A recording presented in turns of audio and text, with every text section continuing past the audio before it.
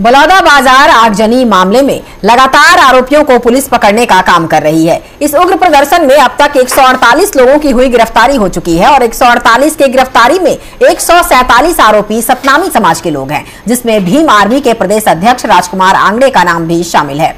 वहीं एक अन्य एनएसयूआई के विधानसभा अध्यक्ष सूर्यकांत वर्मा की भी गिरफ्तारी हुई है। इधर राजनीतिक पंडितों की माने तो पूरा आगजनी मामला सुनियोजित था, जिस पर लगातार सियासी विवाद अब भी जारी है। गौरतलब है कि 10 जून को सतनामी समाज ने धरना प्रदर्शन किया, जिसके बाद कुछ उग्र लोगों के द्वारा कलेक्टर और एसपी कार्यालय सहित परिसर में खड़े वाहनों को आग लगा दी गई, जिसमें सरकार को करोड़ों का नुकसान हुआ है।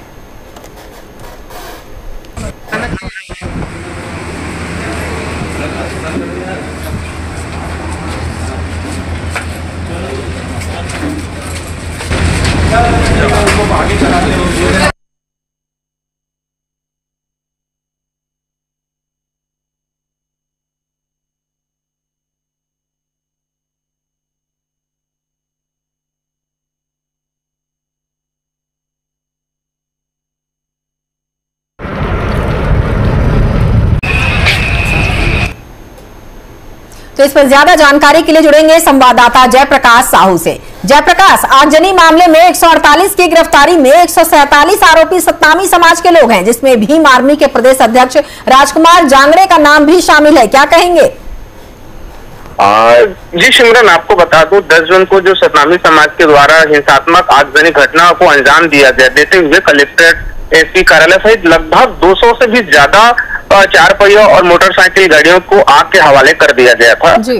आ, अभी तक पूरे प्रदेश में छत्तीसगढ़ में ऐसा पहला घटना घटा है जिस, जिसमें पूरे देश को छत्तीसगढ़ की पहचान को शांति हिला के रख दिया है। अभी तक छत्तीसगढ़ को की पहचान शांति सुकून के नाम से जाना जाता था लेकिन 10 जून को जो हुई थी हिंसात्मक घटनाओं को याद कर लोगों की रूह तक काँप जाती है। आपको बता दें अब तक आगजनी में घटना को अंजाम देने वालों में 148 लोगों की गिरफ्तारी हो चुकी है जिसमें एक सौ पैंतालीस आरोपी तो सतनामी समाज के हैं। वहीं एक अन्य समाज के वर्मा समुदाय के हैं, जो एनयूएसआई के विधानसभा अध्यक्ष हैं। उनके भी सूर्यकांत वर्मा की, उनकी भी गिरफ्तारी हुई है। और बड़े चेहरे की बात करें तो संविधान की बात करने वाले भीम आर्मी के प्रदेश अध्यक्ष राजकुमार जांगड़े सहित ग्राम पंचायत कार्य के सरपंच पति की भी गिरफ्तारी की जा चुकी है। एनएसआई के सूर्यकांत वर्मा थे, जो तोड़ फोड़ में स्पष्ट रूप से देखा गया है। उसकी गिरफ्तारी हुई है, लेकिन शैलेश नितिन त्रिवेदी के द्वारा ये कहा जाता है कि वो निर्दोष है, पास है, पवित्र है कहीं न कहीं समझ से पर है। जी, सुंदर।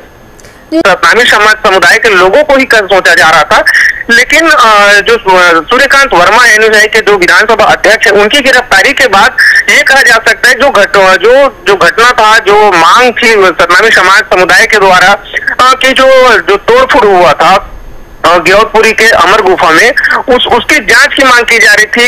ये कहीं ना कहीं सतनामी समाज का था, लेकिन वर्मा समुदाय का इसमें इन्वॉल्वमेंट समझ से परे है। कहीं ना कहीं ये जो प्लान कहा जा सकता है, जो आगजनी की घटना को अंजाम देने की बात कहते हैं तो ये पूरी तरह से सुनियोजित था। अभी आगे बहुत सारे खुलासे भी होने बाकी हैं, क्योंकि बात करें सरकारी कर्मचारियों की तो सीसीटीवी फुटेज में कुछ ऐसे सरकारी कर्मचारी भी हैं, जिनकी पहचान हो चुकी है, लेकिन उनका जो है अभी तक जो फरार है उनकी जाँच पतासाजी की जा रही है। देखना दिलचस्प होगा कि इसमें राजनीतिक संरक्षण की बात करें तो कितने ऐसे राजनीतिक संरक्षण करने वाले हैं जो जो इन्वॉल्व है। तो जी सुंदर। तो क्या लगता है कि पुलिस पर राजनीतिक दबाव हो सकते हैं?